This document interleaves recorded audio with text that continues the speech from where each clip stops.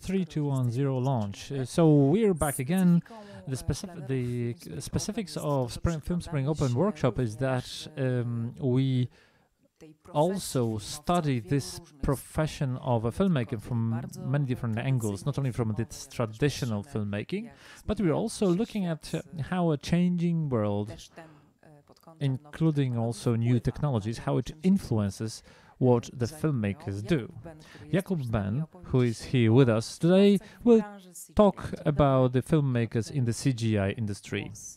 Hello, and I leave the microphone to you, and I wish you a pleasant lecture.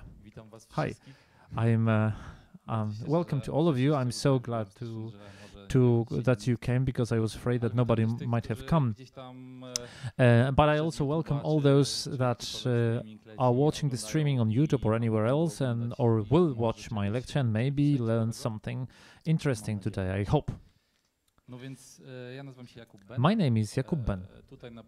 I'm here. I've been here uh, with you in Film Spring almost several times, not every year, but like every every several years. For the first time, I've been here uh, uh, on behalf of CD Projekt Red, where I was working at that time together with, I think I was there with one colleague of mine, and we are talking about the the pipeline of cinematics in uh, uh, The Witcher 3. It was my first contact with the FSO, and I really like the whole climate here, the mood, who's coming here, what for, what are the, what, uh, what is the motivation, what are the, and I was really enthralled, and, uh, and I knew it would not be my last time.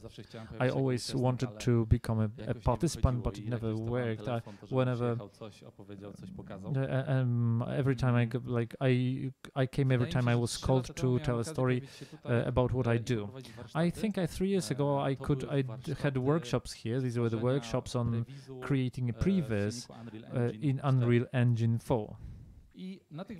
And during these workshops, it occurred that there's a lot of, that there's a big number of interested people, many more that I could get my computers to get computers for to do something as it uh, as it is with, with when working with a computer. Not everybody likes sitting at a computer every day if they want to sit at home. So I became we were so so that they were doing films uh, people were doing their own project, but they also came to me or Cinebus or somewhere else, and they could work a bit with me.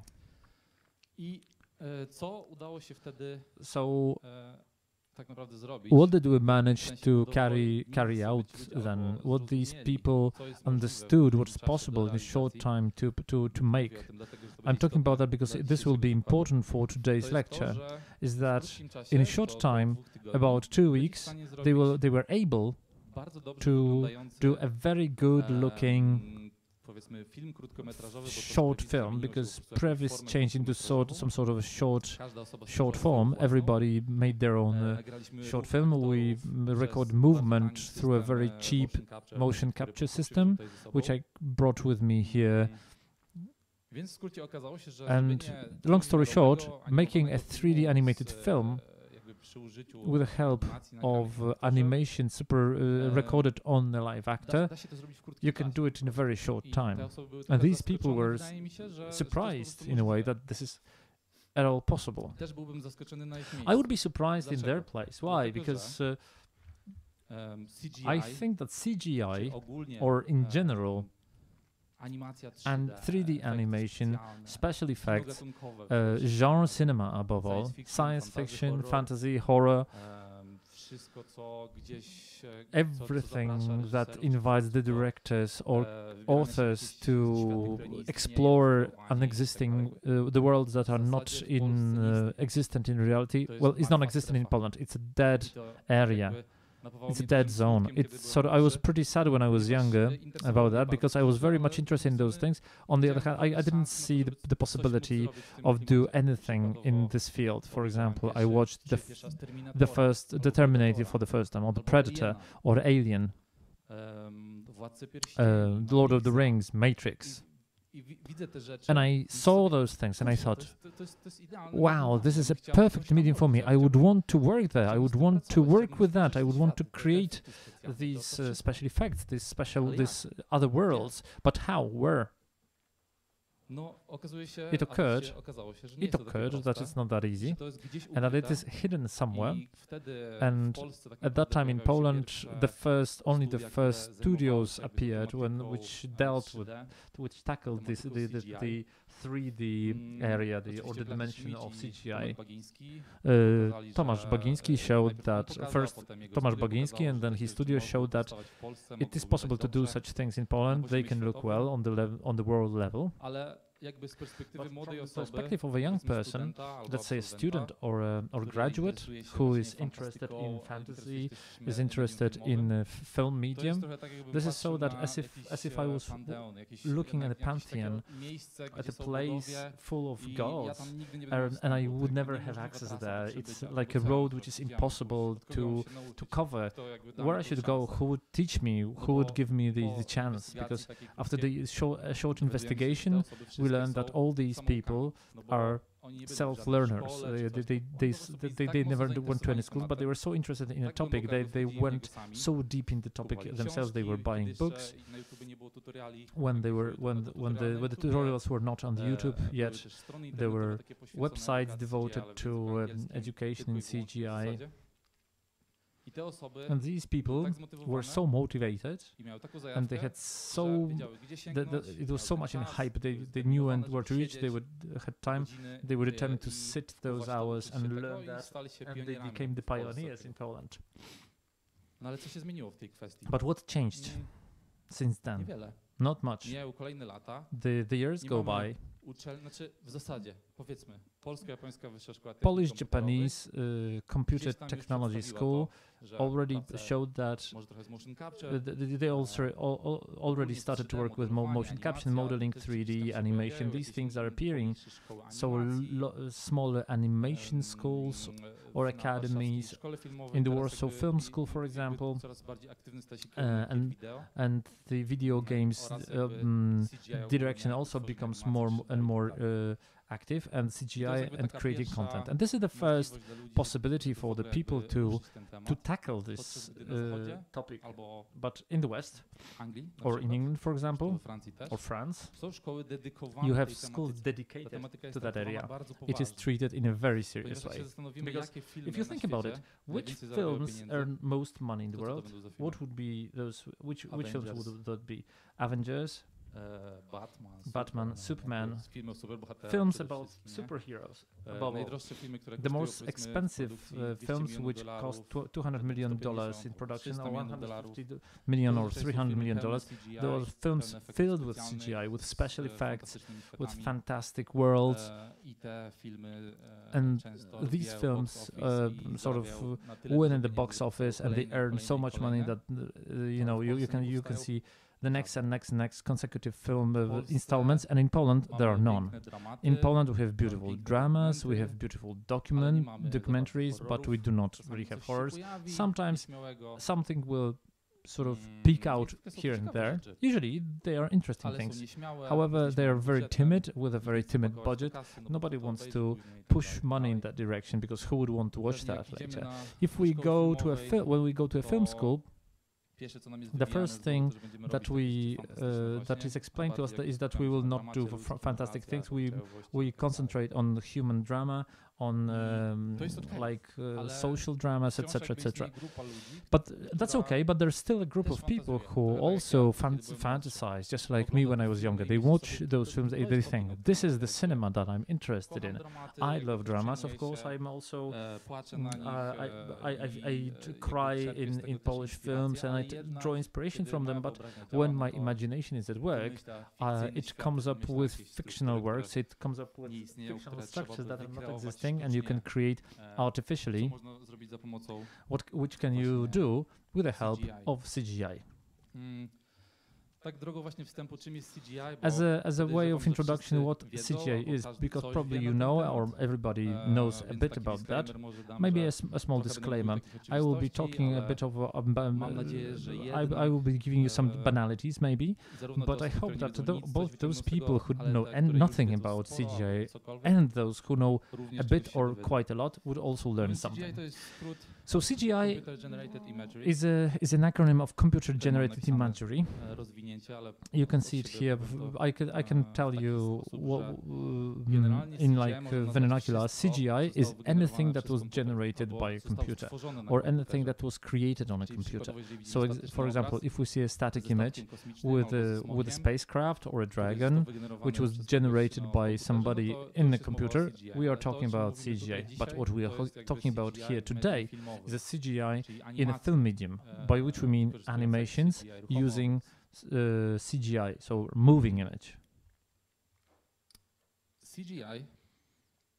CGI can be divided into a number of categories, each of which has their own rules both from the point of view of, of budget, of uh, teams, and like their their companies dedicated to different categories. I wanted to sort of enumerate them for you.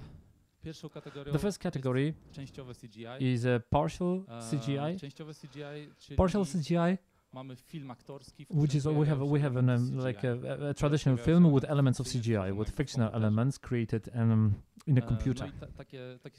And such situations can be found in in TV shows, in uh, films, and, and TV uh, and TV series. You would be surprised in how many shows CGI has a very strong role, even in series which seem to be shot on normal streets, on on, uh, on especially I'm talking about American shows. Usually, uh, the, those the backgrounds are generated in a computer, even though you would say that it's the simplest uh, surrounding, that it's uh, that is the easiest uh, to show in the real life to just go there and, and to shoot it. But it, it occurs that it's it's sometimes cheaper to go to a to a district to a district and to to um, uh, like residential district and shoot the area, but it, it actually is easier to generate it in a computer with legally too. Well, there's a full CGI too, generated in a 3D category. for the short animated 3D films. For, for example, on Netflix you could see for Love, Death and Robots. That's a good example of a sh short 3D form realized by various post-production studios all around the world, full mm, feature animated 3D films. Here we can see mostly Pixar, DreamWorks, so um, films, animated films for kids, but sometimes even for for for adults. Also 3D commercials, a very common thing, very popular also in Poland. All sort of uh, animated bears teddy bears of um, of, um, of the commercials or like sometimes even a flowing chocolate is made in 3D. Another section are video games. This is something that is closest to me because I've working, I'm working the closest to this sector, so I will be able to tell you the most about that. And of course, uh, the video games uh, can be divided into two subcategories because when we're playing video games, we have the so-called film breaks during the uh, during the uh, playing.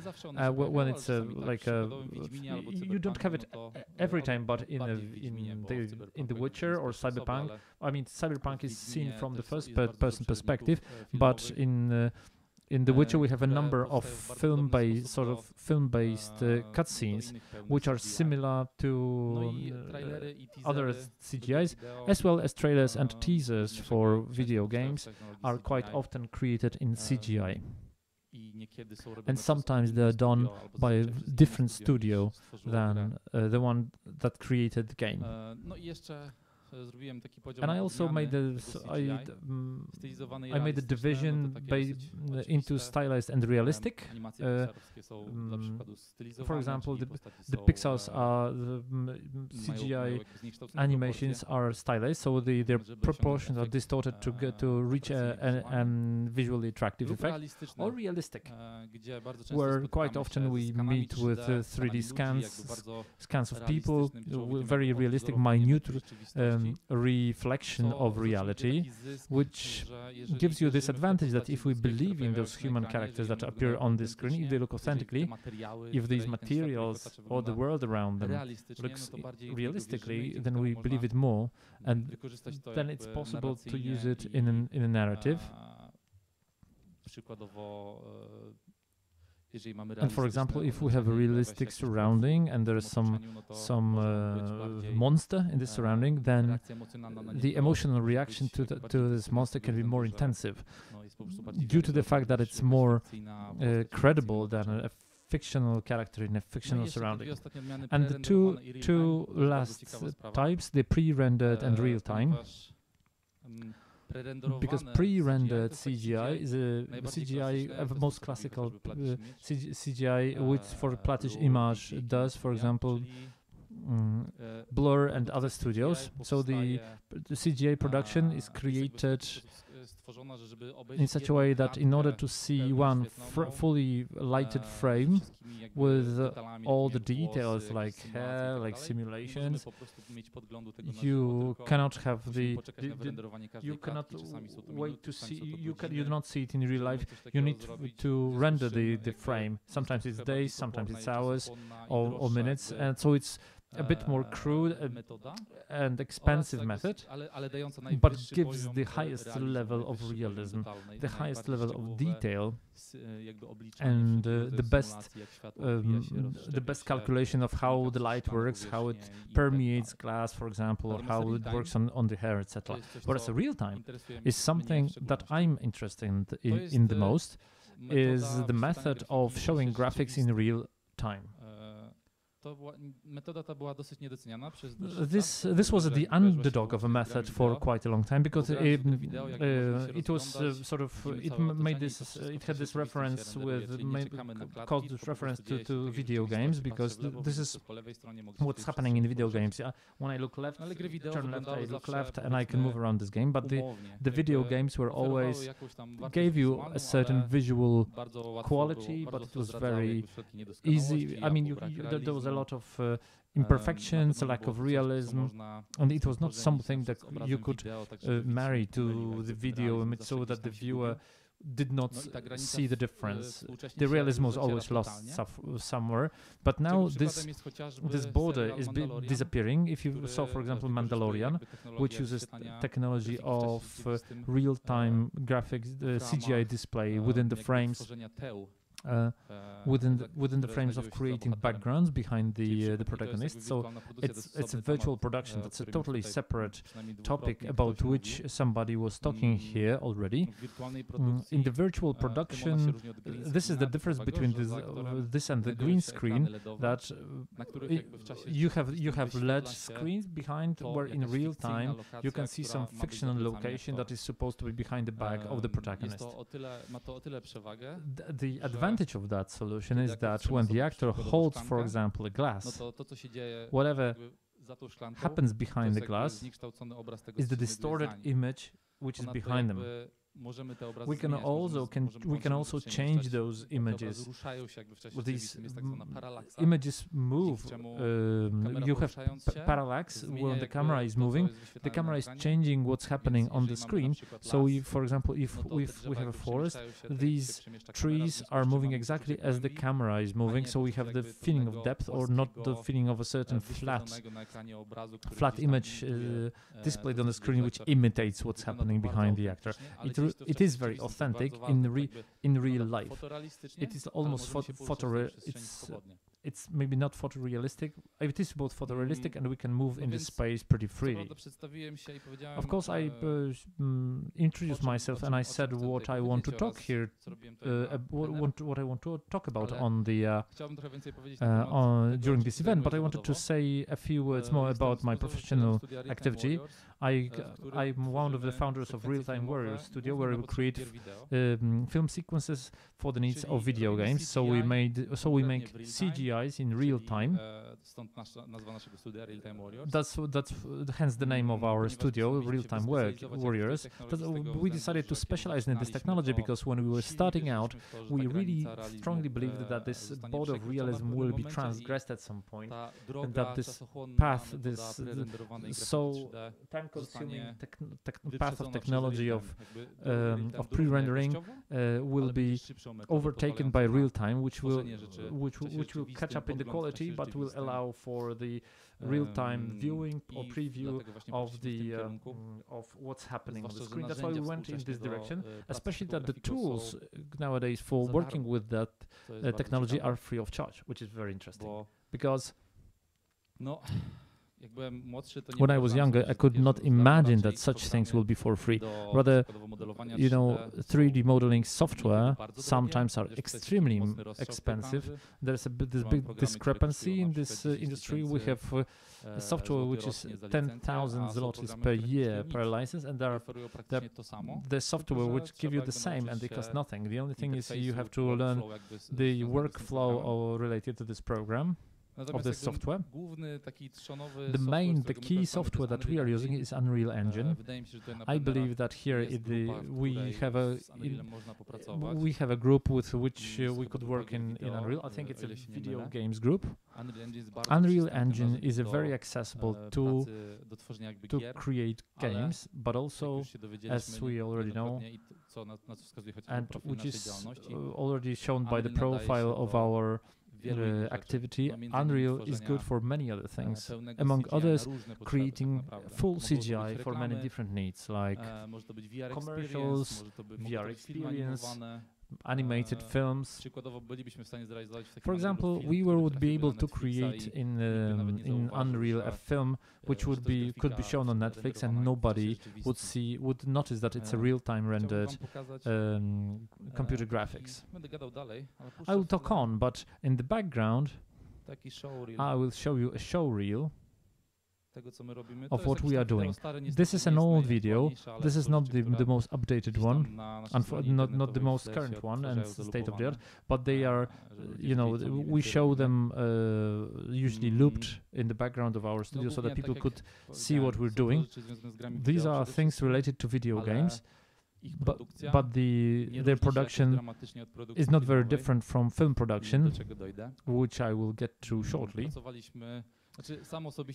I was I worked on the on The Witcher personally before I left the CD Projekt and I created the studio with our partner. That's why you can see the scenes from from The Witcher. We, as a studio, we were we could create about 130 film sequences for Cyberpunk for the needs of uh, TV in the in the world of uh, video game, which was a very interesting thing for us. Quite often in, in, in an open world, in open world games, in order to increase realism, you have such things as TV, where you can walk up to a TV as a player and and watch something on TV, like the TV commercial for so, sorry, like a commercial of a car.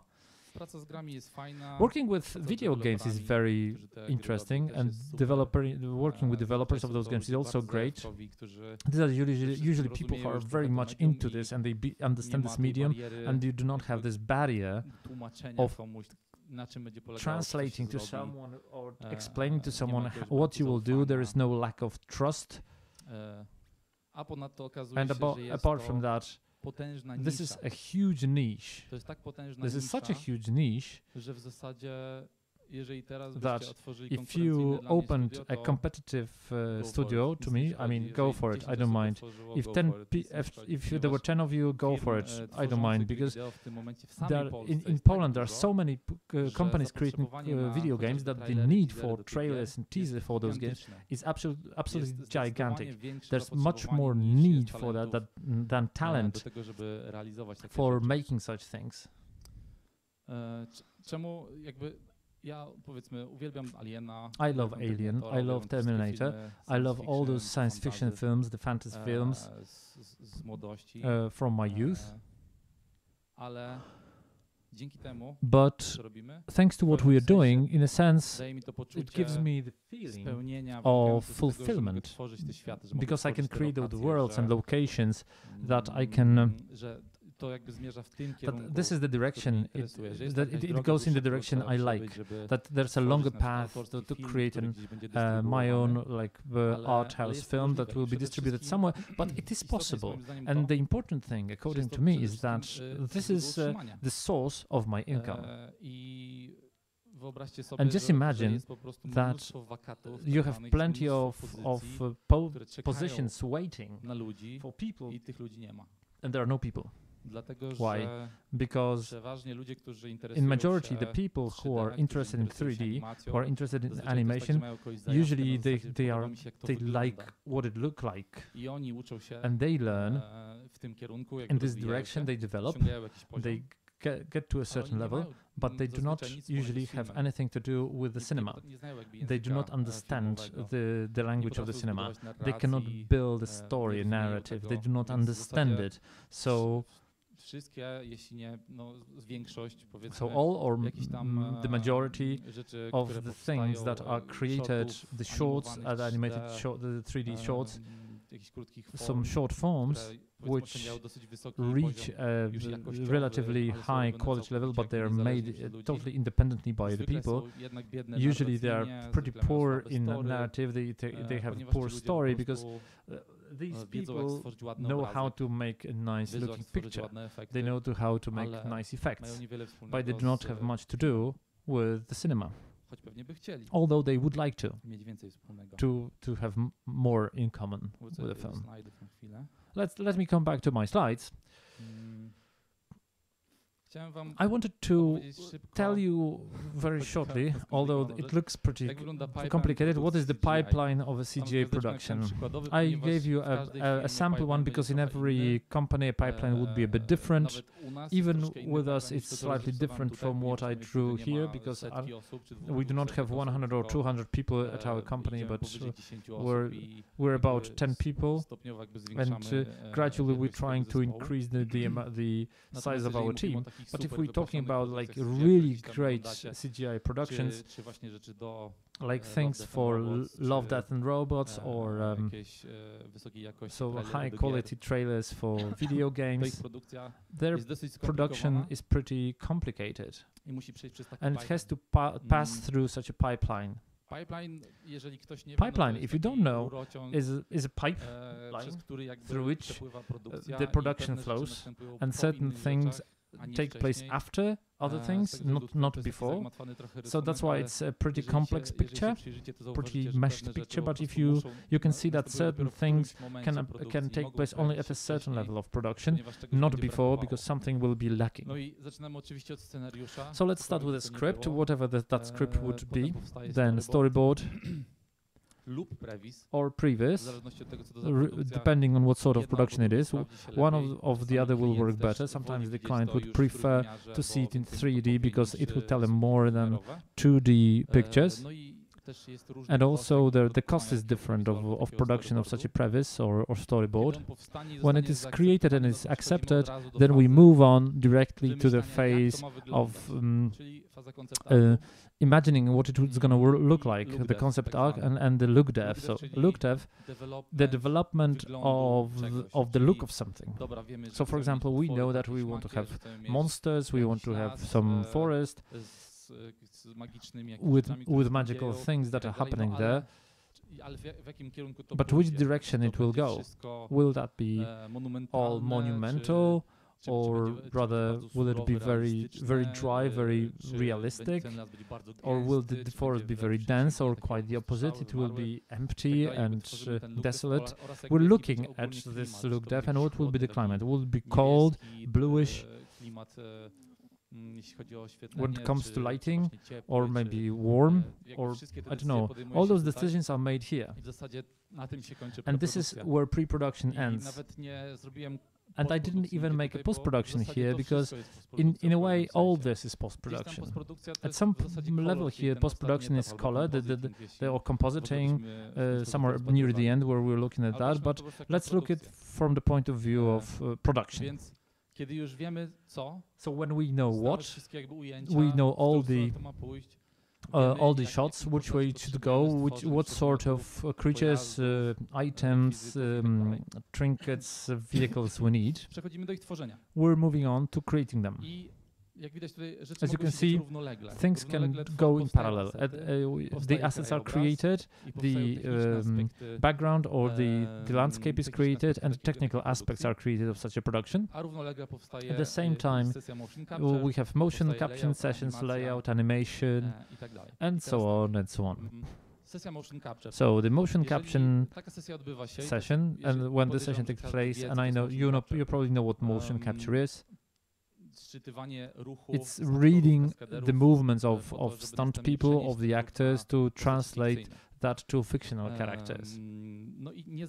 And it's not always necessary. If we're talking about a stylized graphics, uh, we use keyframe, like the, the frame, uh, frame after frame animation, which is known very well from the 2D animation um, which was also used in Poland. It's the same stuff, but only in a 3D environment. But we, if we have characters to which we want to transfer that movement, this mocap session can take place.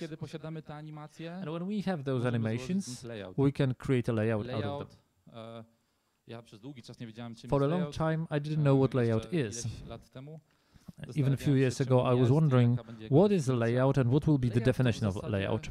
Layout is is the movement of cameras, the editing, staging of characters, where they're standing, we, where we have all the all the props, whatever or assets, whatever we had done uh, well in previous one. These you know these cameras are animated. They have some they have some camera shake.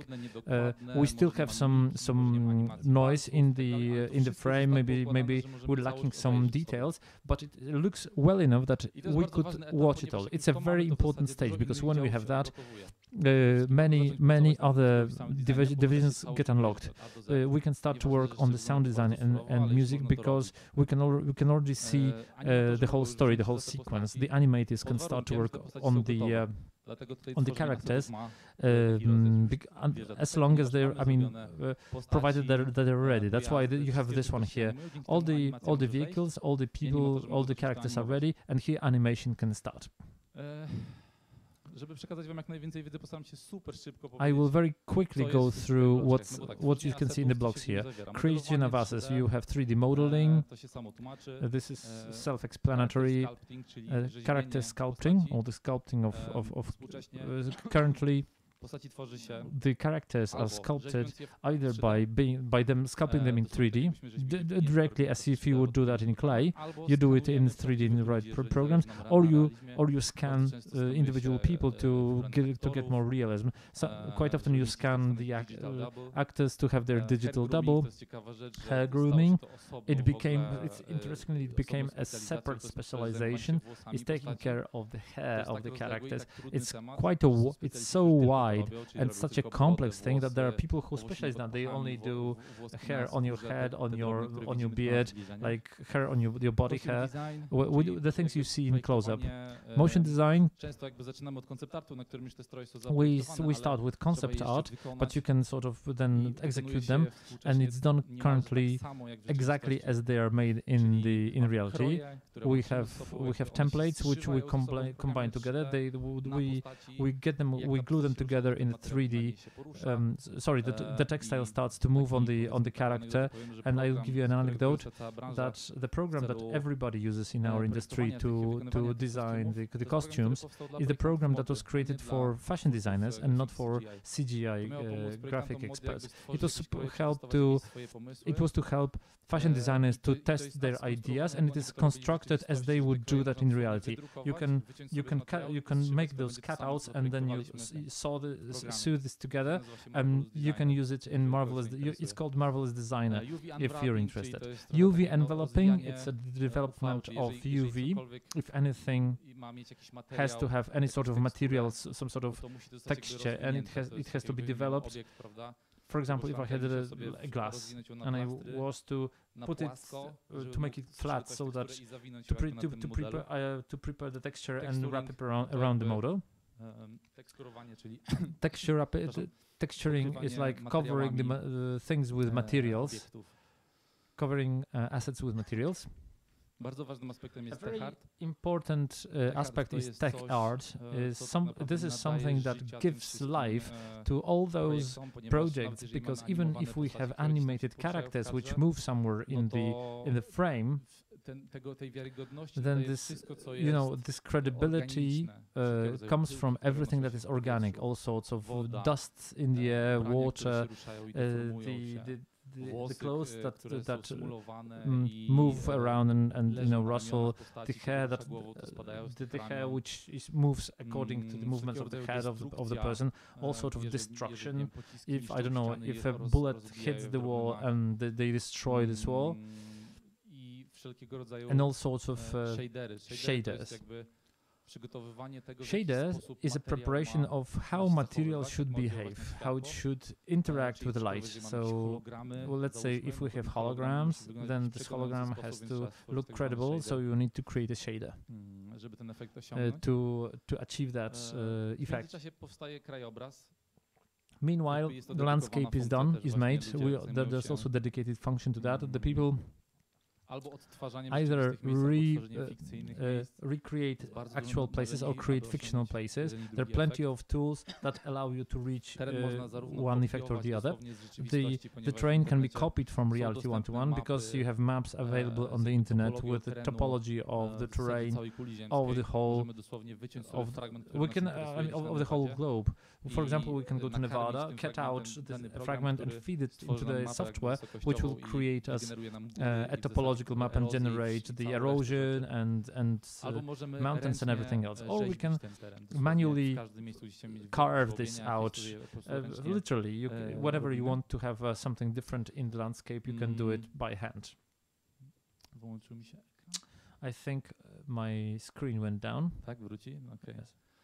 E, foliage painting to jest foliage painting. This is the, the creation of those worlds is so interesting and so fun that it occurs that if we need if we need forest or a meadow, we're we're painting with the with painting with those uh, plants like like with a, with a paintbrush. We can yes, you can you can paint uh, exactly the landscape as you want. The, the, the trees will be uh, turned as we wish. We have meshing. We have a number of assets. Like assets are the elements that uh, uh, comprise that uh, compose a given location. We've got the houses or wrecks, car wrecks, or I don't know trees or whatever we want to create in a given location. We we put them around. We've covered them with moss, for example. I, to, czyli to wszystko powstaje. So all this is created. When all this is created, the tech art is the tech art is coming back to that. When here, when we're coming about talking about the animation, it also has its sectors. Wypisałem rigging, skinning, uh, I, uh, rigging to jest rigging, skinning and mocap uh, cleaning. Uh, mocap cleaning. So rigging is providing skeletons. For example, if we had people or apes or monkeys, these are the, the uh, creatures for which we were able to prepare the skeleton pretty easily, the, the, so that this creature could be manipulated around. However, there are also such examples as a huge spider or a dragon or or a snake. Even if we have have a, um, a modeled snake, in order to animate it, we need to prepare a rig. We need to prepare a set of bones and controls which would allow us to steer this snake. If we want to, for example, make things easier for the people who would animate such a snake, the rig should take into account such things that, for example, we have a control which we which we pull by the head, and then and the rest of the snake makes this snaky movement behind, and the animator does not need to does not need to go into any more hassle with that. So, for example, animation of of, um, of the muscles. The world is so animated, the world is so advanced in, in CGI and in realism that you simulate the behavior of muscles when the characters move their uh, move their arms and legs and the, the movement of the skin so you can see the, the muscles moving under the skin. So this is not something that is animated by hand, uh, by a person, but to have special rigs which take into account this deformation. Mocap cleaning. Mocap cleaning, when you have a mocap session and uh, and we have some collection of animations from which we've made the layout then always it occurs that the animation is ready in 50-60%. Usually they're lacking in many in many ways. Usually on the mockup you do not you do not do animation of fingers, so then the animators have to animate the fingers uh, separately. Quite often the actors when they work on the mockup they work in a theatrical space where all the objects in in which they enter into interaction are simplified. They're like boxes, some simple chairs, and not there's no one-to-one coverage of uh, with the equipment or, or assets we have in our animation. So, for example, the actor when he puts his hand on something, he would need to, for example, put his hand higher. This all has to go through cleaning. Um, keyframe. And the keyframe, niezależnie od tego, czy robiliśmy sesję regardless of whether we did motion capture sequence or not, or, do we go full keyframe, the keyframe always appears. Czy dotyczy mimiki, whether it's palców, mimics or fingers or so it's animating by hand, frame by frame of individual things including, for example, if the character throws a knife and if, if it's supposed to, to turn into the, in the air and hit the and hit the um, uh, the bullseye, um, it it will not be it will not be um, filmed. Uh, in the motion capture, it will, it will have to be rendered frame by frame by hand. So, then we have the implementation. Somebody one person or a group of people implement all those things in such a way mm, so that they can they appear in one uh, scene or in a project divided into individual scenes so that you could start to light those scenes and to prepare them for rendering. Za rendering często odpowiadają osobne właśnie Usually rendering osobne osoby, które, uh, is in the hands of, of separate specialists who know, uh, who are jak, well versed in what the quality, which quality should be set to for the time of rendering of a frame is not too long. So in order to realize that within the within deadlines. Przechodzimy dalej do kompozycji. And then we move on to niezależnie od tego, czy robimy real-time'owe rzeczy, czy takie prerenderowane. Compositing, because regardless of whether we do rendered things or real-life things, we, we can use render passes. So render various aspects of the image separately, so in order to later bring them together at the, at the stage of uh, compositing. So for example, reflections uh, can be rendered se separately just to, to, have control later on the on the level of uh, of reflection of individual things in, in post-production. Sound and music uh, are created separately around that time. A sound designer or composer is supplied with uh, uh, with current renders, the previces, so that all the nuances that appear could be taken into account, uh, especially in sound design. No i kiedy mamy to już jakby mamy to wszystko wyrenderowane. And when have we have it all when rendered exactly like in the world of film, this gets in the hand of the uh, color correction specialists who imbue it with new life. It doesn't have to only be color; it can be a full post production.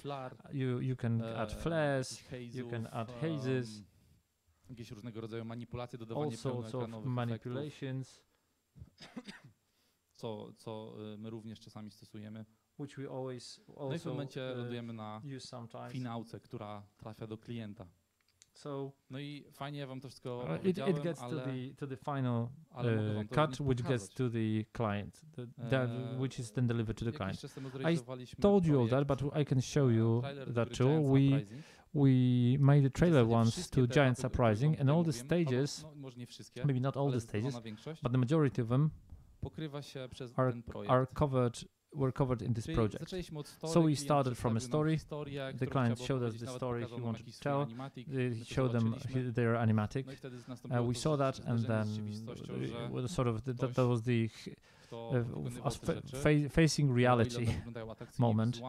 Somebody who created us. Uh, we saw that somebody made it pretty attractive visually, but the lack of knowledge of the film uh, narr narrative and emotion building, uh, leading the camera, composition, all those things caused us in this situation and in all the similar situations to suggest the creation of a different script to which thankfully the client agreed, but we had to prepare a storyboard żeby móc progresować. To progress.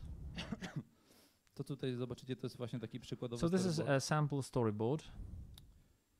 Chcę wam go pokazać. I wanted to show it to you because you will be able to to compare it later uh, with what I will show to you later. Nie będę teraz wam wszystkiego opowiadał. I will not uh, give you all the details. Maybe I'll, uh, I just want you to to look at the pictures. Every picture has a caption. If somebody didn't underst understand what we see in the frame and what's happening. and what's changing. Sometimes, sometimes when the shadow is important, it's included. If not, we don't include that. It's a game in which we impersonate a giant. A antagonistą są ludzie. And the, and the humans are antagonists. Czyli takie odwrócenie So it's this, the, the, the uh, reversal of the roles. Usually the, the giant should be the boss or something. And here we've got we've got the reversal of the roles. that the giants are tormented uh, by the people. W zasadzie to jest ciekawy projekt właśnie So it's an interesting project due to the fact that if you look at this sequence, when you look at it finally, you will see that it does not differ much from what what was created in the story at the storyboard level. As you probably know, storyboard.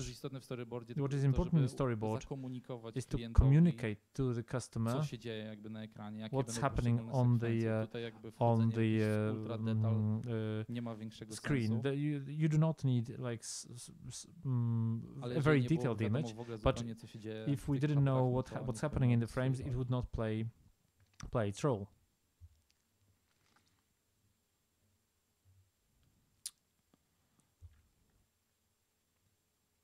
Generalnie powstał z tego monstrualny trailer. trailer it was like a mo monstrous trailer created out of that. It, usually it, it is about two minutes long. Minut usually they are like one to two minutes long, and our trailer was four minutes long. Za co z jednej strony thanks zebraliśmy to, trochę Thanks to which we, we got a lot of criticism, but on the other hand, our trailer has 1.5 views, which for a small customer who has like an indie studio, it's a great success because the to jest, astronomiczna this is like an astronomical mm, interest in such a small product, uh, indie product. But I mean, just the fact that they, they, the people pre-ordered that are added to wish list, they, they might. This is a, a good thing for them. A company like us jest oceniana tak, przez ours is judged by the mm, through the through the lens of of views, which we sometimes can impact and sometimes we do not have influence of that, depending who will show the who will see that trailer. It's not published on on the client's channel. It is published on some well-known, very popular uh, gaming channel, so you need to have some contacts to be able to publish a thing like that, and you have to wait for festivals and convents related to video game convents, where this, the interest is you have a, a lot of YouTubers and streamers who watch that, so it's actually and people share it on the social media and so on and so on. So this is the storyboard we created. Then we recorded based on the storyboard as a motion capture session with uh, with the stunt man. Ponieważ to jest może with stunt specialist. to jest praktycznie cały czas akcja, Because it's just action, we didn't uh, invite any actors. We were working with the with the stunt people. Mm. Już wam puszczę.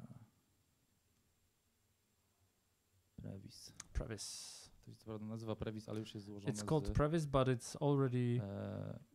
animacji, które it's, tam stał nagrane. It's already included, uh, it has animation and some mockups. It, this is, as you, as you can see, very, very dry. You can see some animations, you can Otoczenie jest dosyć You can see some noise. You can still see some things there. You, you've got some pebbles which are lying around. If you read all the storyboard when you watch that, you start to understand what's happening here, what's happening on the screen. Praca kamery nie jest finalna, ale the work jest of the camera is not żeby, o, the final one, but it's advanced enough. You can see this is the example of the giant walking, but not touching the ground with his feet. This is the, the, the part of the cleaning you have to perform. But you, of course, you also have to animate it well so that the fingers move, move right, etc. This is a stage on which we have a basic model. We do not have a animation of fingers, but also when but already when you sort of have all this when everything is so dirty and does not animate well, if such a clip, if the client can understand what's happening there, if we can feel some emotions, or at least the basic of emotions, we're on the right track. So this is a stage where we can still allow ourselves for, num for a number of changes. Because this is a this is no loss stage, because we didn't spend much time to prepare something like that.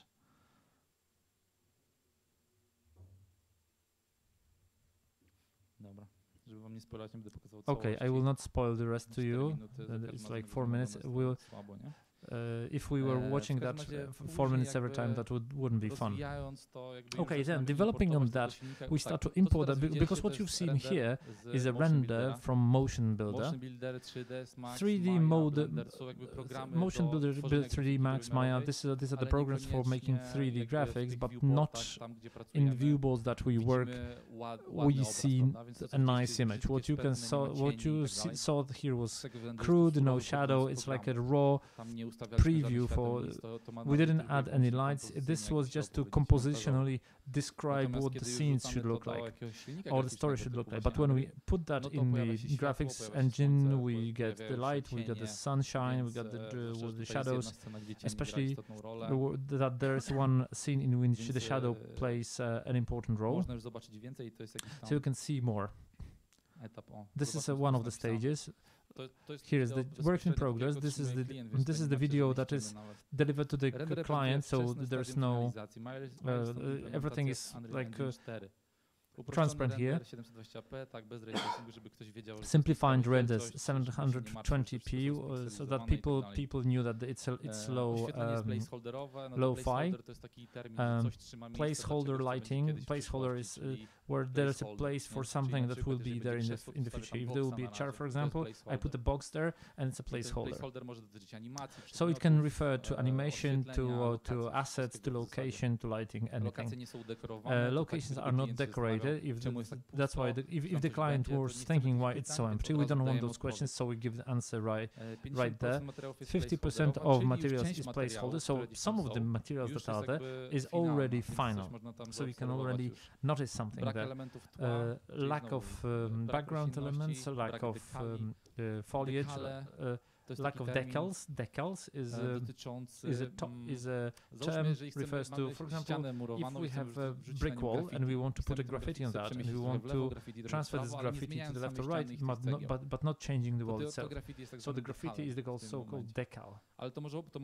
But this can be also, I don't know, this uh, bullet holes or um, watermarks or whatever. A lack of music and SFX. Uh, sometimes you have to state it plainly because the client can ask why I can't hear anything. lack of some special effects, VFX, lack of the final polish pass. If somebody wondered if this will be so looking so badly as, as it does, lack of volumetric clouds. So volumetric clouds are, are 3D clouds. No dobra, zobaczmy. Okay, let's see this. Szczerze nawet nie pamiętam. I don't even remember what it looked like. to chyba leci. Okay. O, y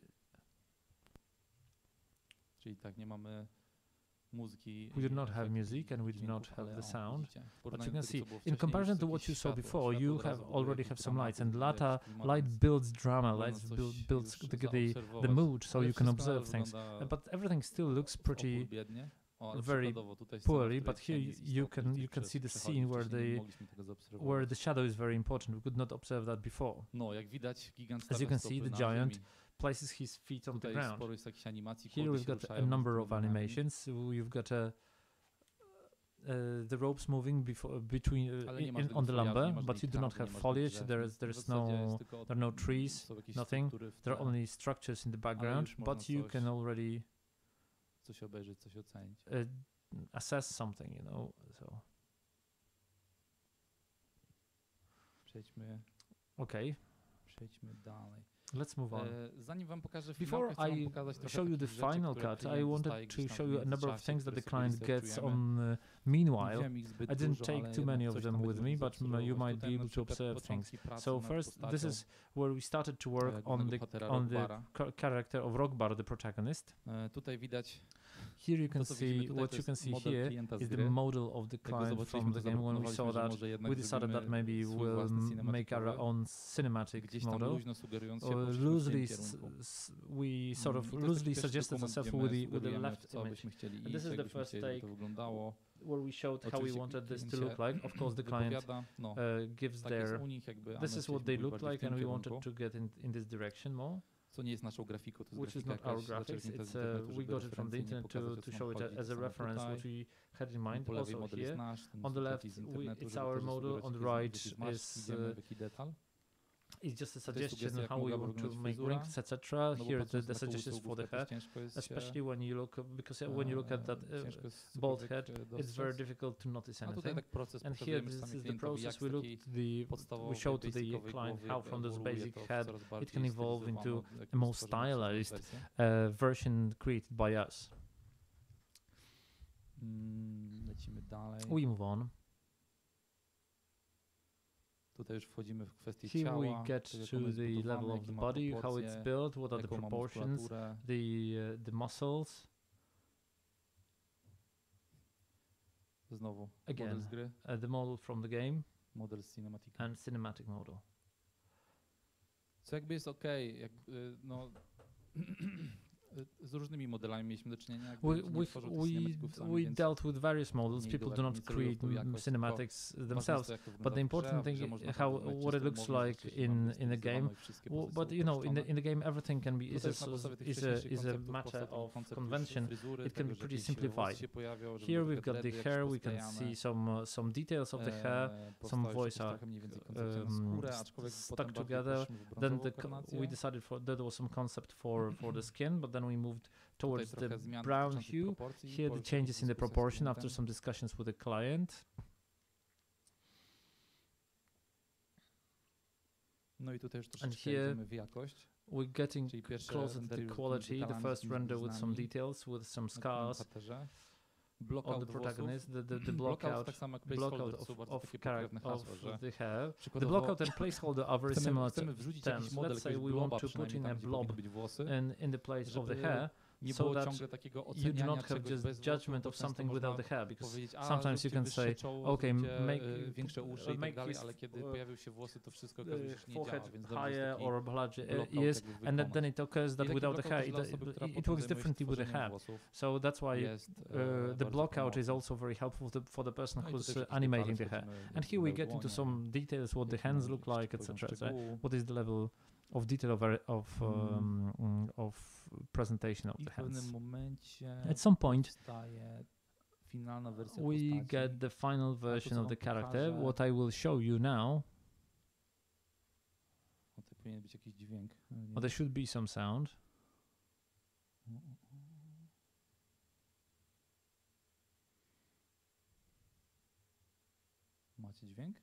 Can you hear the sound? Tam na górze, panowie? Guys?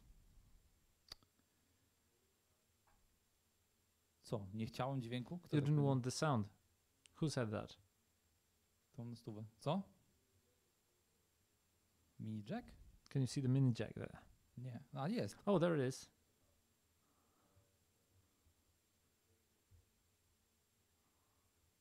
Dobra, dajcie mi sekundę. Um.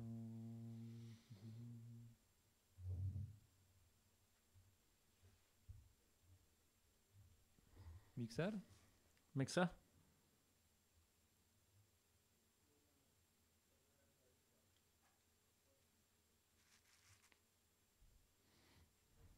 Aha, okej, okay, dobra, sorry. Alright, sorry. Sorry, sorry, sorry. O, git. There is. That's perfect. No, max dać, okej. Okay. Tutaj przykładowo to, co teraz zobaczycie, so this, to the sample that you, the example that you'll see here is the błędy tam Of course there are so there, there will see some flicker, there are some some errors there. Śmieci, które potem zostały posprzątane, ale możecie popatrzeć sobie na But you can see uh, the four states of, of Rogbar, his like of, of him getting dirtier because in this in the story he's he's falling down, he's uh, punching through walls, uh, and he sort of becomes dirtier and dirtier here, so nic nie słychać. I can't hear anything. Siak. Myślisz? Dobra.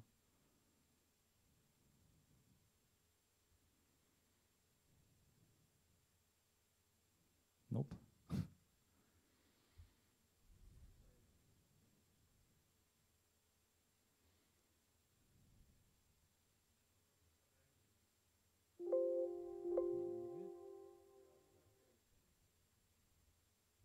Może jakiegoś kodeka mi brakuje. Maybe I, I lack some codec. Nie, nie tego na laptopie. I didn't watch that on a laptop no, before. But, well, anyway, uh, there are some drums in the background. The, the images are much more important. As you can see, you can modify the same model by changing its texture jakby tworzenie y, powierzchni chropowatych, uh, create rough, creating rough surfaces, uh, wet surfaces. No oczywiście artysta, of course the artist, w tym wypadku artystka, która to in this case the female artist who wzoruje się worked na rzeczywistości, szukamy dobrych referencji z życia. Looked for good references in real life to for those fictional characters to look as no bo tutaj as good as possible because he, we can talk about a realistic uh, convention, slightly stylish because these people are slightly altered distorted, but, but in general we're going into towards this realistic look and feel so that we believe in this giant and what's happening to him. No, jakieś tam były brudy, jakieś błędy, ale są nieistotne.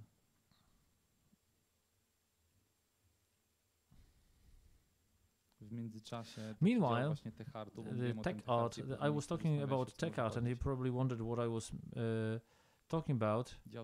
The, the tech art create, in this case, you can see they're creating simulations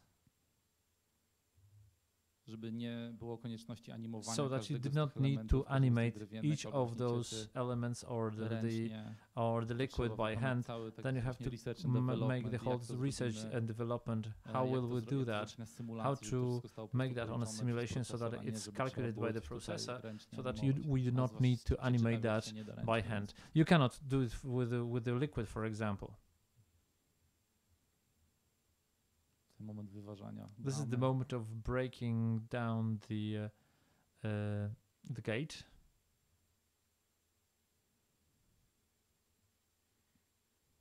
Oglądamy go kilka razy, bo I watched that several times because these are iterations. The next versions of when where we sort of wonder whether we, we could go in this direction, on that direction. There's too much of that. For example, the the bricks are too chaotic or flying around too chaotically or whatever.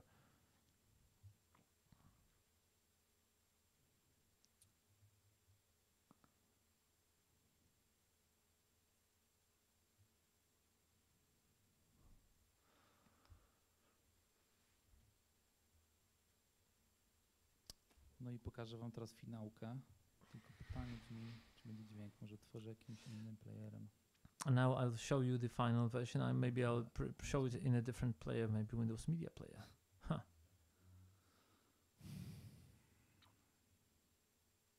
Nigdy nie używany wcześniej? N never used before? cisza.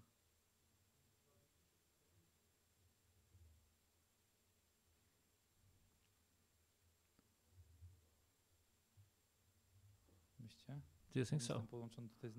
I'm not connected to the to to the internet. Uh, it won't look so well without the sound. Ale to mało kurczę, jakoś nie chce mi się wierzyć, że nie ma dźwięków. I can't believe that there's no sound in this. Nie, nie, no bo jak mamy mikser głośności, to ja słyszę, nie?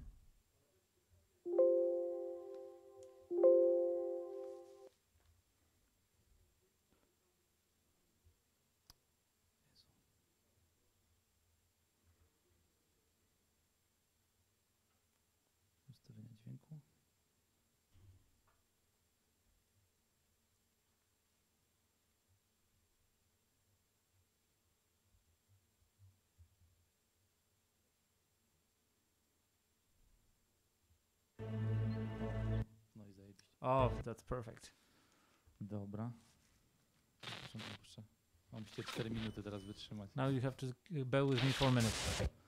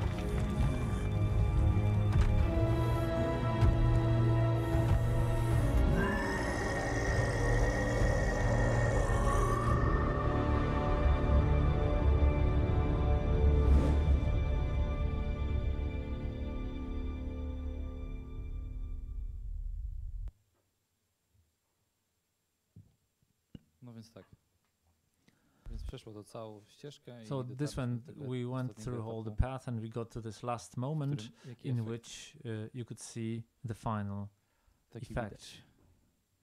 Mm, no więc no więc dobra, powstał Okay, so cinematic, a cinematic was created like that. Tytuł tego wykładu to But the title of uh, my uh, lecture is the career of the filmmaker in CGI. I told you about CGI, how it is made, what are the stages, who you work with, how many specialists we have, etc. Dla przykładu, taki cinematic For example, such cinematic was created in a 10 person, 10 person teams. Uh, you did not, we did not have 100, you do not need 100 specialists or 50, just 10 people, 10 specialists who know what, what they're doing. That's enough to create such things. Kiedyś, jak byłem młodszy, which when I was younger was absolutely absolutely unthinkable for me. I would consider this unrealistic that I would be able to go in this direction i robić takie rzeczy. Natomiast jest to and to make such możliwe. things, but it is fully possible. Um, przejdę, wrócimy do slajdów. Let me now move, go back to the slides.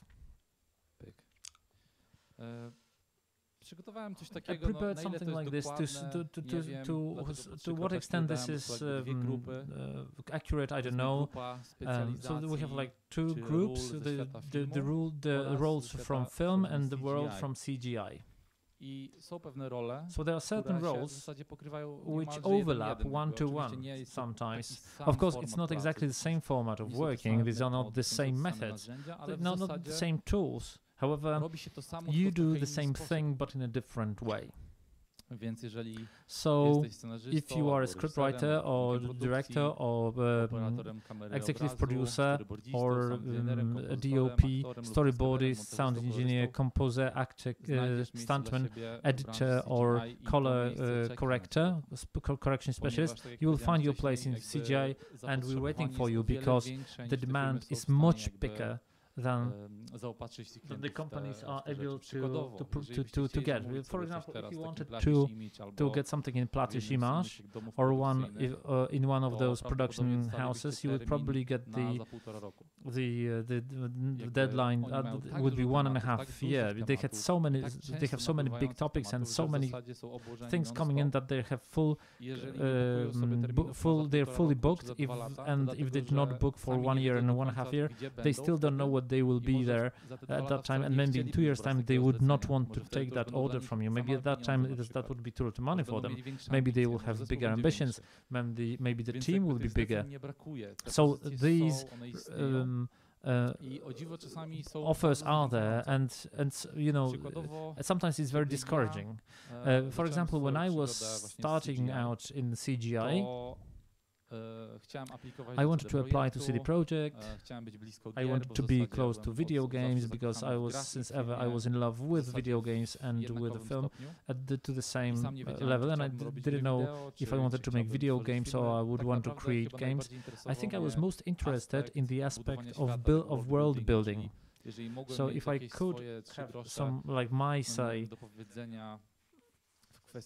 in what the world would look like, how those protagonists would look like, then it was satisfying enough for me. because I would be happy with anything. When I was in a, in high school, I was looking for indie projects uh, where I could do for non-profit some concept arts, art. Uh, some I have to have some my own my own input in the creation of any game, and I've been drawing things for a number of games. I was supplied a number of of um, proposals in, in, in number to a number of games, but there was never a, a game school or concept art school or 3D animation school. In a way, I'll tell you very quickly my, what my background is. I I graduated from a from a graphics uh, high school, like uh, with a graphics specialization. I could draw things, I could do some 3D graphics, but I was not especially encouraged by teachers to to follow this career. But I knew that I want to continue this path. I want to have to, something to do with graphics. So when I was graduating from the high school, I was I was doing gra graphic design professionally uh, in inverted commas, of course, because as a kid I was not still full professional. But if somebody didn't see me on the other side, of the world, uh, they would order something through on the internet. They probably thought that somebody older is doing things for them, and uh, from that moment I was uh, doing that for seven years, and this is where I saw my career. This looked more most credible in in Poland, and all those dreams of creating the the Alien, Star Wars, and things like that. It all looked totally unrealistic for me. It was not a line of career or a career path that would be mm, uh, achievable in Poland or feasible in Poland. So I was rejecting that from the start. So I went uh, to study um, uh, graphic design in Poznań in the Fine Arts Academy. I spent there some time, but there's this aspect of following your dreams and following your your wishes and this is what I would do to everybody however banal that might sound. if you feel that in a given school you don't like something that is not exactly your way. you know spending five years to graduate from that or to have some piece of paper it makes no sense whatsoever. nobody nobody looks at that in the world of CGI of, of a film. everybody is just um, I mean nobody really cares. In CD Projekt nobody asks me about whether whether whether I'm a graduate I could have been after a high school. The only thing that is important is what you are able to do. And what you are able to do especially in the CGI world especially is still although you have more and more uh, ability uh, capabilities you still learn it by yourself from YouTube. you learn it from various websites where you have hundreds of tutorials where you can learn anything. Every aspect is tackled by somebody uh, in this way or another, in, many, in many various languages, including the Polish language. So, uh, uh, computer graphic, the, the graphic design became boring for me after half a year of studying. I didn't want to go uh, to the start, to the, go to the university. I didn't want to know what to do with me. But then I, I saw that there's there, there was also a faculty of of, uh, of um, computer graphics or computer uh, design. And there was some simple motion design there are different forms of animation traditional but also 3d animation and i thought i think this is the only option for me. Because the because like a, it was like a traditional school um, i didn't have to pay for that. if, if i wanted to to go to the polish japanese uh, IT school, I would have to pay 1,000 zlotys per month, and I couldn't afford that. So I went to the to the media, the art of media faculty, and I very quickly realized that this is a thing that is still at the very beginning of its path in Poland powiem tak, to było wystarczające. It was enough for me. It was enough to make me highly interested to for me to listen to it, to make some tasks, to make some assignments, and I said, "Wow, this is so good! I will go home and I will investigate it. I will look I will see at YouTube everything that's there. Uh, for example, and after a month, I was I knew more than a 3D uh, teacher, and I could help people on the uh, in my group because it was such an early stage of thinking about this medium. So it's not that I became uh, like a guru of that in a very short time. It's just this knowledge, even among the teachers, was was very weakly distributed, and in a while through the on the internet you could you could uh, supplement it and become better than them. And already at that time I knew that this is extremely interesting for me. That I, I made some first 3D animations, a very rough one, but I've managed to render all that to, to put that all together. There was some movement, there was so, some addition. It was all very humble and very early, but I had this feeling that yes, I did my first step on the way towards something that interests me. So if, if I manage to make a first step, I have to do the second, the third, fourth. I just need to understand how it works. And I didn't have really an idea how I can push that further, especially that um, 3D animation was very time consuming. It took so many hours from my life to make such such a such fragments. It, it was because I didn't know things, because I didn't know tools, I didn't know the workflow and all that. Because I lacked methods, because nobody taught me that. I, I learned all myself, so I learned it topsy-turvy, but I knew that I don't want to deal with computer um, graphics, I want to work with live image whatever that would mean. So the next step for me was uh, learning about the, uh, the, the feature filming. It's, I'm one of those people who love since child uh, rented all possible VHS cassettes and I saw all the films uh, many times on end and I was even without the film school when you when you see all those things, it's, it's as if you've learned a foreign language because the language of a film is like a foreign language.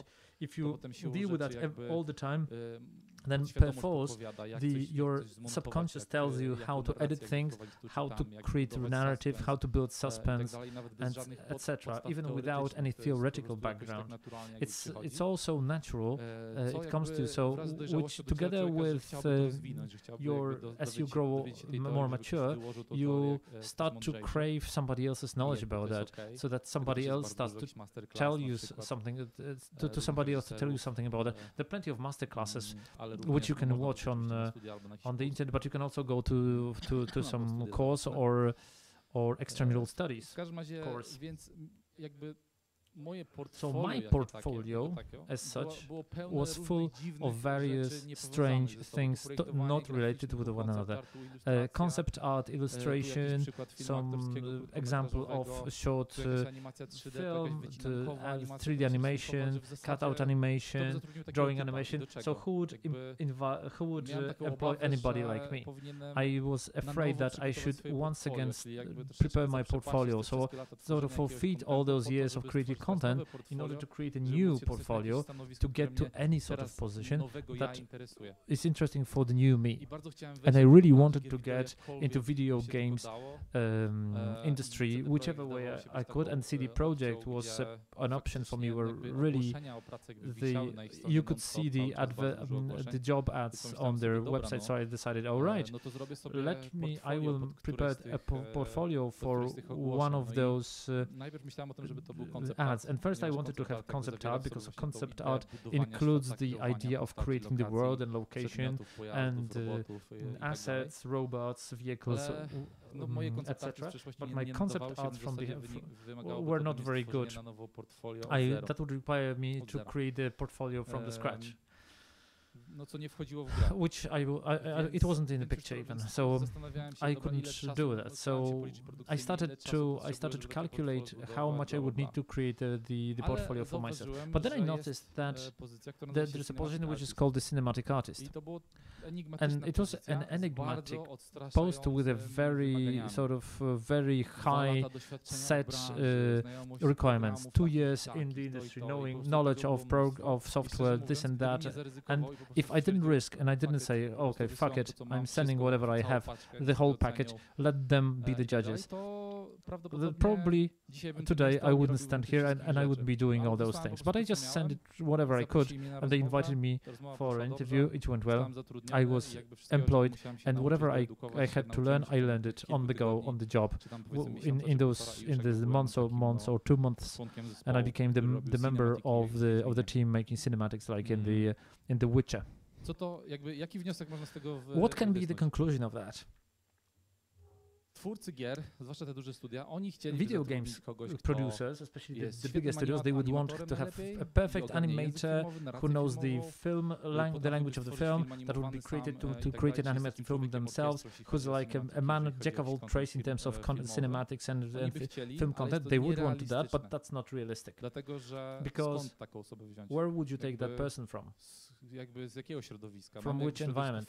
We have a film uh, environment and we have the CGI community where we have uh, animators or or 3D generalists, the, the people who just work on uh, with nice pictures, and they would want to have people who can who have both worlds covered and come to them with experience, etc. And yeah, there are there are a few people like that, but there are a few in the world, we're talking, I think we're talking about tens or hundreds of people who really know this well.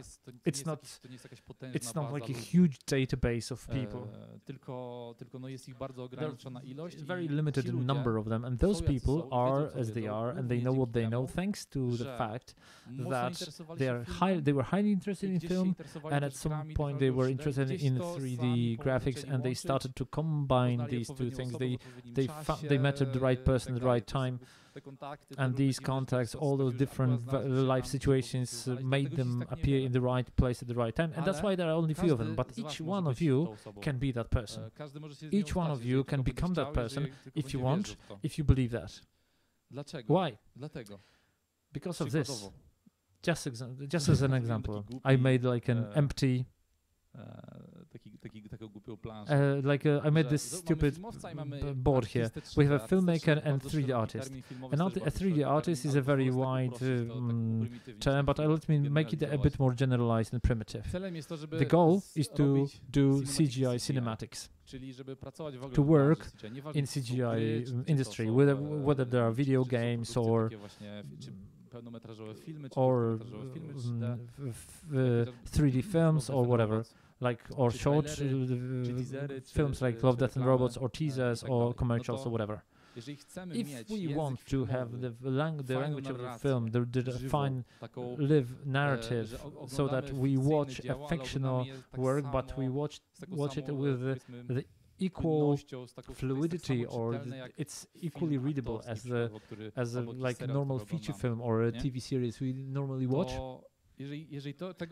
if this is what we expect, and this is what we expect, because the viewer is the viewer, if whether they see the 3D or an actor-based, like real, real reality film, well, you know, the viewer has you have to assume that they've seen hundreds of TV shows, thousands of films, and their brain and their perspective is already conditioned.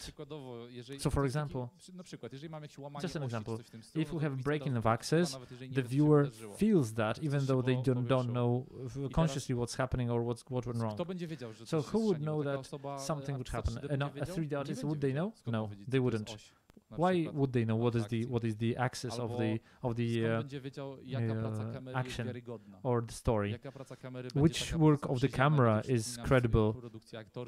Which is would be similar to what what's happening uh, in the uh, in the normal film? How they would know what sort of editing will allow you to build suspense? Which editing will will tell you the an action scene? What should be the composition in the uh, in the frame? Somebody has to work with actors when we talk about motion capture. How they would know know that? And this is it this industry, the, the employers and the studies count on those 3D artists. at the same time will have this uh, knack for for film uh, narrative and they will they will become those cinematic artists and they will be able to do that. and that happens from time to time. this is how it somehow works. sometimes works. I think in my case it's one I'm one of those lucky guys who were more in 3D graphics and they were they they were saturated with with films with with movies. I didn't graduate from any film school. I loved cinema from so much and I observed it so much that whatever is here in this bubble I had this subconscious under the skin knowledge of that. I wanted to learn it more and thanks to YouTube, thanks to internet, I could uh, reach for the whole, like you have the ocean of knowledge related to that. So I supplemented my narrative and uh, knowledge, uh, and I knew I could do that. And for the filmmakers, that, that's why I said a filmmaker's career, it's much much simpler path because if you've worked in, with Photoshop, After Effects, Premiere, then you generally have an idea idea of how software works, in which you write files with different formats, you've got some interface. You, this interface is sometimes quite complex, which means that such technology is not alien to them, and 3D software is much more complicated, but not as complicated as some people might think. Usually, people who are afraid of 3D, they don't want to enter this world because it scares them away. This this aspect scares them away of, of, certain level of, of um, difficulty that can be related to that. They don't know how simple that might be. Of course, you have to put in the man hours, but we're talking here about three months of learning every day for two hours to understand all the basics of modeling, of animation, how this is done, where to click, whatever, which doesn't mean that you have to do that, because here you have the help, help of, for example, motion capture naprawdę. No bo Until recently, in order to organize a motion capture session, in general, if we learn to create um, an interesting environment, uh, let me make a digression here. We have Unreal. Unreal. Engine is free of charge, and Unreal Engine has a lot of assets for free, including megascans. Megascans are scanned um, elements of background of the, of the landscape, both inorganic like uh, and organic, rocks, plants, trees, moss, as well as houses, elements of houses of certain of different props etc. And all this is scanned, which means it's photorealistic and it's available for free for the users of Unreal. So, in other words, if we learn those simple tools, the Unreal, for example, we're able to create a photorealistic environment after a week of interaction with the, with the software. How do I know that? Because I was doing this here in the, during the during the classes, uh, and in two weeks, one week, two weeks, people were building this uh, location, and they, they used like ready elements, and they had it.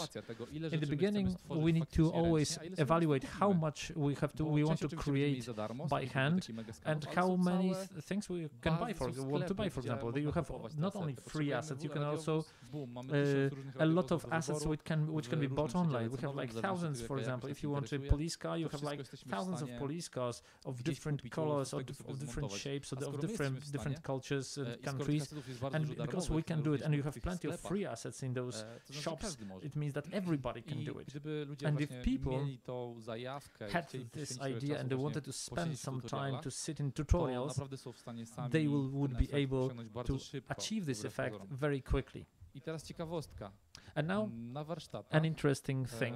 During the master classes that I was holding here, one of the members, his name is Kuba Gutkowski, I don't know if you know him, chyba he, I think he's been here as a, as a participant in, uh, in, in, in FSO, and because he joined my classes, he presented himself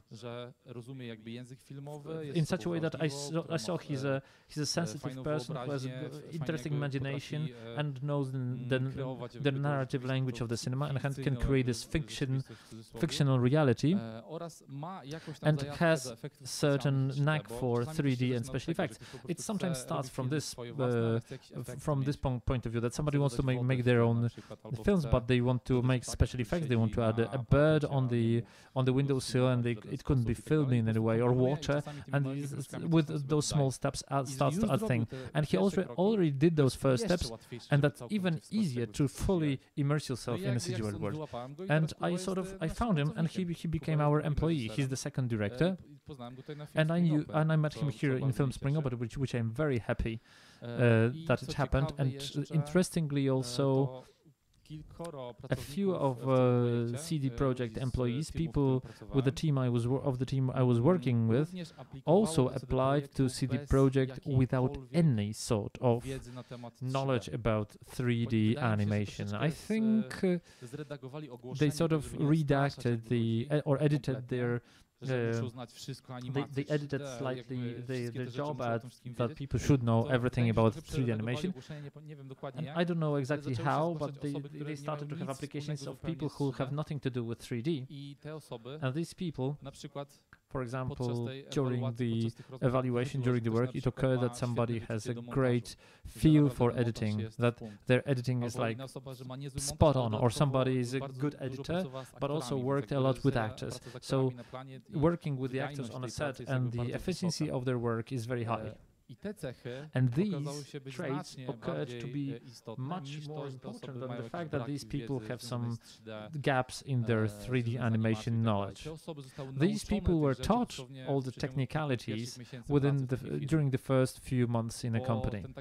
This trial by fire is the best method of teaching someone. You throw him in, in the biggest mire, the most difficult, the most the horrible, the most horrible things. They start, start to pull out their hair, but after a month they understand everything.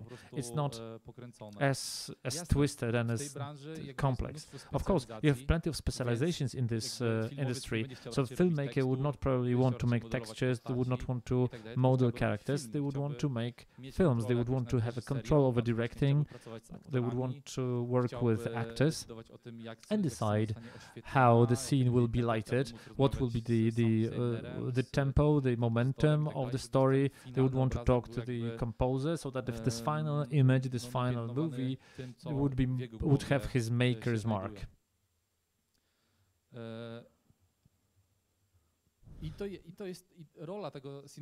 The role of the cinematic director, because now we're talking about the, the director, it's uh, for many it's a, it's very risky to employ somebody from the from the world of of uh, cinema to employ somebody like that but it is happening. Quite often? Okay no time. Left. Okay, let me just finish with the statement that I have. I know many situations when the film a film director was invited to direct a CGI because it was not very far away from from film production. They were he was supposed to, or they were supposed to work with actors. They looked at the um, they were looked at the 3D materials, but the editing was like in the film. So all this rece- got this power, film-like power, or this this film character. At the end of the day, let me tell you that if you start to work with cinematics in 3D, you sort of you start to get uh, over your head at the moment. You know, I can do anything for free because I can, in order to raise the camera to any level, you would need a drone or a, or a crane. You can do anything, but and, and the CG, I, the the camera can do whatever. You can change the focal length at any moment. You can have anamorphic lenses, whatever. And you go really, people tend to really go crazy. And those things are not, uh, you know, they, they do not look credible. And the person from the world of film enters this topic with this baggage of knowledge and experience of how all this work works crudely but effectively. For example, if we do a dialogue scene, Ridley Scott does everything with three cameras and doesn't make the, the, the scene three times. But if he likes it, uh, he, he can three three repeats. But if the first he likes the first one, he can see the image from three cameras, and then you can edit out of that a dialogue scene. I quite often send, uh, referred people when they were uh, to people who made uh, The Witcher 2, 3 to Deadwood, which is almost based on dialogues uh, usually people talk to each other and if you analyze every any every dialogue scene then you can draw exactly the room where each camera stands. if we transfer this knowledge to cgi suddenly the scenes in the in the witcher start to look credible for the people or players. and those players and viewers don't even know why because they do not have this theoretical knowledge. for them it looks like convincingly. It works for them but why does it work? because it is like in real life because somebody bases it on the on the physical limitations and conditions. Okay, thank you. That's all. Thank you. Thank you for coming. I don't know if you have any questions, you can ask them now. If not, I will maybe sit with you a bit longer. Not sure. Do you have any questions? Czy aż tak e, wyczerpałem temat? Or did I exhaust the topic to such an extent? Dobra, ale coś... Okay.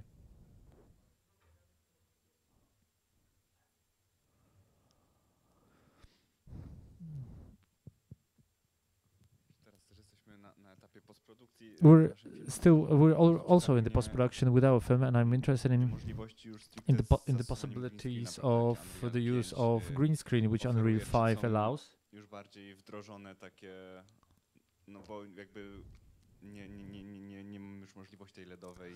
We do not have this possibility of using this LED background, and it, for example, it was difficult for me to get the Unreal 5 case studies in post-production in, in, uh, of green screen type, the generating of this reality, this uh, set extension, etc. Mówiąc w skrócie, a tak, In short, Unreal, y, jasne jakby świat of course, the world of virtual production, very, very expensive uh, screens for millions of wszyscy się jarają i zlotys, and it's being developed and everybody's uh, there's a hype for that, but wciąż, nie stać na tę technologię. some people cannot afford that.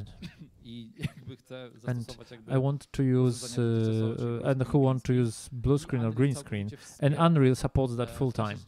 In real in real time we can have we have the we can have the key keying of the blue or green screen. W dodatku jakby są dwie, Additionally, there are two methods. No bo w jakiś sposób, jeżeli Because chcemy mieć paralaksę For some reason, if, if you want to have a to w ogóle para- parallax, if you have you, you, you can do it real time, of course. You don't have to. We can do it in an offline mode. nie robimy tego So we're not doing that in real time, but we we made the scene, w postaci uh, we we shot the scene, we have it podziałać in w video Unrealu. No form, to and now we would want to work in Unreal. Then you it's it would be good to have a tracked camera. sterować, no to In order to track camera, you can track it in After Effects or in some other program przy użyciu pluginu with the help of a plugin.